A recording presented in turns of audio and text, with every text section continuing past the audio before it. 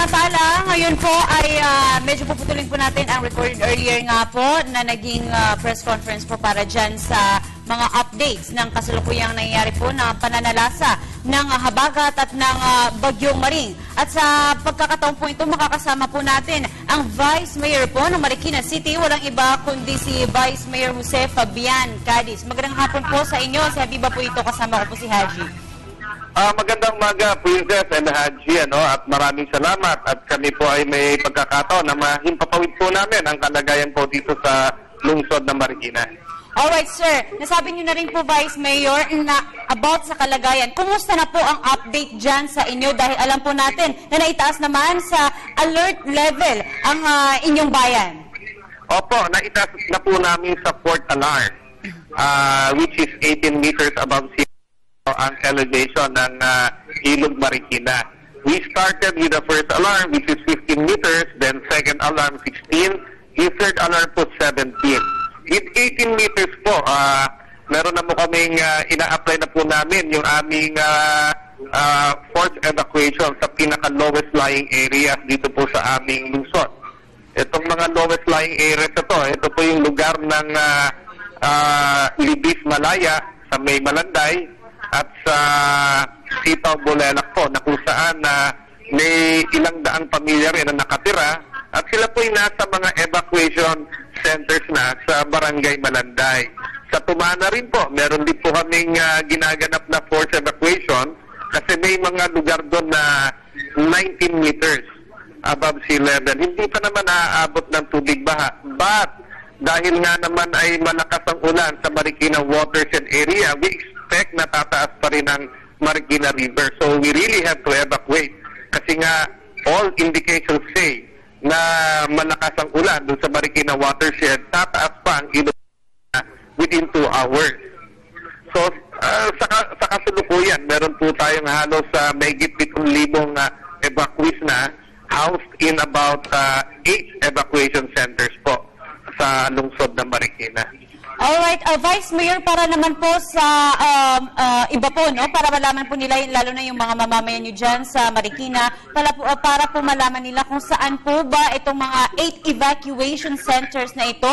Baka maaari po nating sabihin sa kanila para naman maging updated sila. Opo, actually ang mga evacuation centers na yan, yung Nangka Elementary School sa Nangka, sa Barangay Tumana ko, ah, yung pong ah, H. Bautista Elementary School, Concepcion Integrated School, at saka Concepcion Elementary School. Ah, doon naman po sa Malanday, yung pong Malanday Elementary School, Bulelak Gym, saka yung pong ah, Filipinas Village Gym, doon po sa Malanday.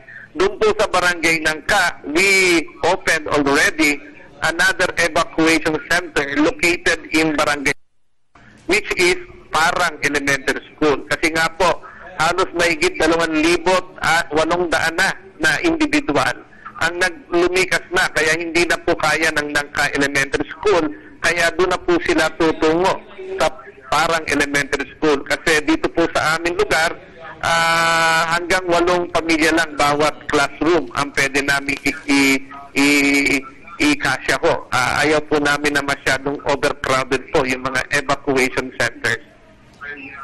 Opo. Ah, Vice Mayor Cadiz, si Haji Kaamin niyo po ito. no? Yes, Haji. Opo, ah, may tanong lamang po namin kung paano niyo po pinaghandaan itong kalamidad na ito at gaano po kayo kahanda kasi ito wag naman po sana pero sakali pong tumaas pa po yung ah, level ng ah, tubig dyan po sa Marikina River, eh gaano po tayo kahanda dito, Vice Mayor?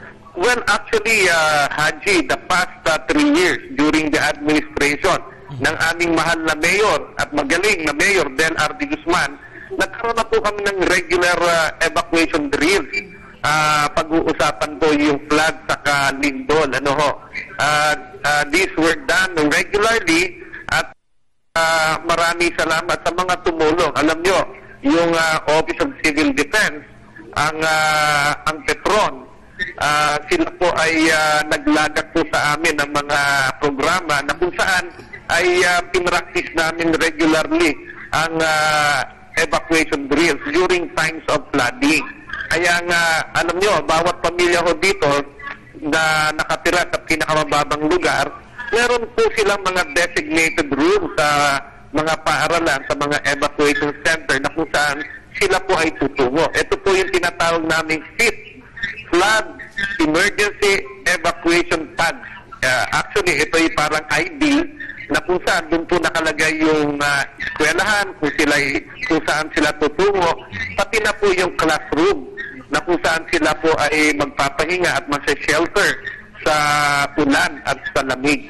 So, ito po ay ah, du- dulot ng pagsasanay. Kaya kami handa. At ah, sa, pa, sa amin naman, sa, sa bahagi naman ng gobyerno, eh, nag-purchase po tayo ng mga rescue boats at iba pang mga assets na magagamit po namin sa paglikas ng mga evacuees. Naglagay na po kami ng mga early warning system. Alam niyo ho ba, habang ang ah, bagyo o ang ah, weather disturbance katulad ng habagat ay uh, minomonitor namin yan via satellite. At ah, dahil sa pag-access namin sa pag-asa at sa MMDA, alam namin ah, kung gaano kalakas o kabigat ang ulan na dulot ng isang weather disturbance sa pamagitan ng pag-access sa mga rain gauges doon po sa Marikina Watershed Area. At sa kailugan naman ng Marikina, eh, meron po kaming mga water level devices, monitoring device na kung saan alam namin kung ah, tumataas ang ah, ilog Marikina. At kung talagang ah, maaabot na natin ang ah, alarm levels, meron po kami mga siren. Ah, meron po kaming itong siren dito na na ilagay namin sa kahabaan ng Marikina River na magwa-warn sa mga taong bayan ah maglilika. So, ganun po ka-systematic ang ginawa po ng ating mahal na Mayor Del R. D. Guzman. Uh, uh, Vice Mayor, ah, pahabol lang po, no? Ah, baka po pwede niyong ibigay ang mga hotline numbers, um, ang inyong mga telepono sa ating mga kababayan para po, halimbawa, kung nais na nila ng ah, agarang tulong, ay ah, mabigyan po sila ng responde. Actually, ah, Princess Haji, 161. Dial 161. Ah, at ah, meron pong mga composite team ng mga firemen, police, ah, disaster officer ang ah, sasagot sa tawag. Just dial 161. At kung yung number ko naman, ah, 0917 865-3950. Inuulit ko po. Ito po ang ah, cell number ni, ni Vice Mayor Cadiz, 0917-865-3950 po. Alright, maraming salamat po Vice Mayor ah, Jose Fabian Cadiz ng Marikina. Maraming salamat po. Power. Salamat po. Maraming salamat po.